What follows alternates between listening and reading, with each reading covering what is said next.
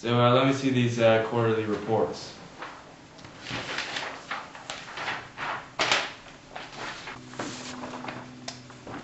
Excellent, excellent. I'm liking this uh, Netherlands branch. I see a lot of potential here. We need to take advantage of this profitable branch because our workers are unsatisfied with their wages. Alright, you're all dismissed. My goals as head of uh, Spanish Incorporated are to preserve what I like to call the pillars of Spanish power, or PSP. You know, when I inherited this company from the Habsburgs, I also inherited their responsibility. You know, but um, even though we have a large client base, we have branches all over the world that bring in vast uh, revenue and resources, and we have a strong workforce. And uh, the market is, you know, really dominated in the Mediterranean by our company. So, you know, when this Netherlands branch opportunity came upon me, I really saw it as a, a way to make something of this company. And I have just the guy for the job. Hello, Jessica. Send him Mr. Perrineau. Mr. Perrineau. All right, Antoine. All right, see. You know, I've been uh, I've been watching you lately, and I like your work. I think your uh, your attitude really reflects my uh, moral beliefs, and uh, well, frankly, I have some good news for you. There's uh, some light reading.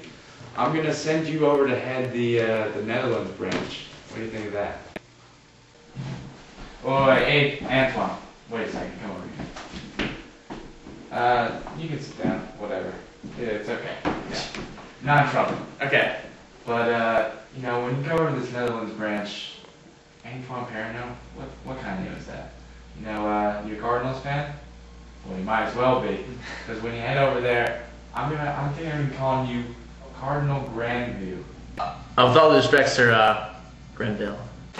I'm really excited about this Netherlands branch, and I get to uh, I get to work there. I get to get out of this office, and I get to uh, just the man there is just so great. He's just a great guy. I like I like his leadership. I like the role model he presents in this office space.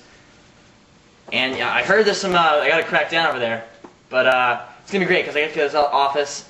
I feel like Harry Potter in here. I'm under the stairs. It's refreshing. Yo, dude, what do you think of this corporate guy? Uh, I don't like this guy. He's kind of a fool. We don't like this guy. He's kind of a fool. branch manager, and uh, I'm really looking forward to spinning it up. Yeah, I'm really looking forward to making this a great branch. We're really prosperous right now. We can just we just keep going with this. I've got some reforms here. Uh, want to look at these? Okay, not. Uh, you suck. yeah.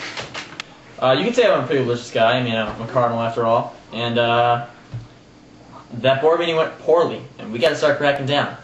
And as much as I like to be as friendly and lovable as Taylor Lautner, Teen Vogue cover, you got it. I'm not. It's just it's reality we have to all face. I was really upset about Orange's uh, dancing. It didn't. I didn't like it. Actually, I liked it. It turned me on. And uh, that guy threw the thing in my head. Who was he? Does he even work here? I don't think so. It was upsetting. Yeah, I do what I want. I don't really think religion comes into the workplace. I was a Catholic, a Protestant, Calvinist. Doesn't really matter. Doesn't really affect my performance.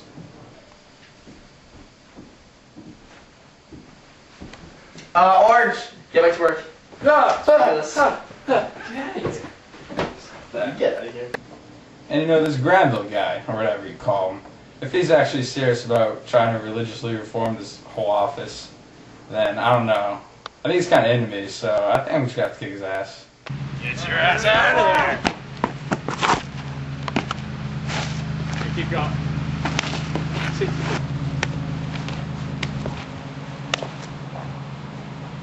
Yeah, so the whole uh, Granville thing really didn't work out. You know, I'm not one to uh, admit my mistakes, but I guess he just really wasn't ready for the big leagues. I mean, after he left, I tried to impose some of my uh, stricter religious reforms, and they just really wouldn't have it. I mean, fortunately, I got rid of that William of Orange guy, but now his younger brother's being even more of a pain.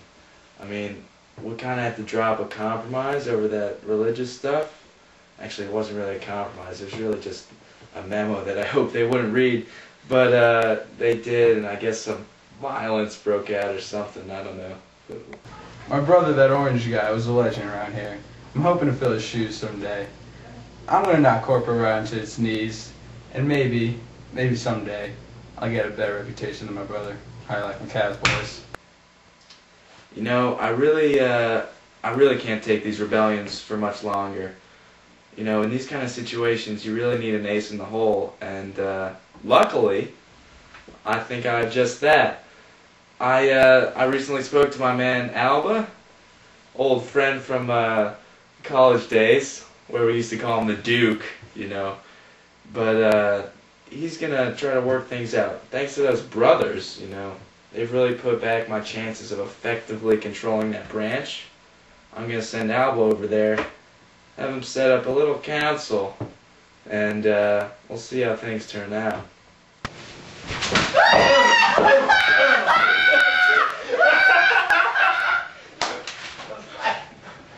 I'm freaking out, man. This Alba guy, he's causing chaos. I'm freaking out. Relax, bud. At least you got your paychecks. Hey guys, Relax. I heard there's a 10 penny sales tax on every sale you make. Ah!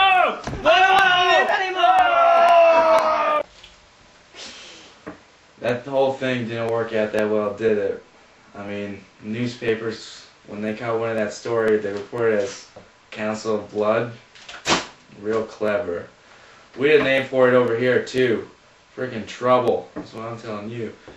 I think I got some memo saying that thousands died. I don't even know how that's possible, considering, like, what, 20 people work in that branch?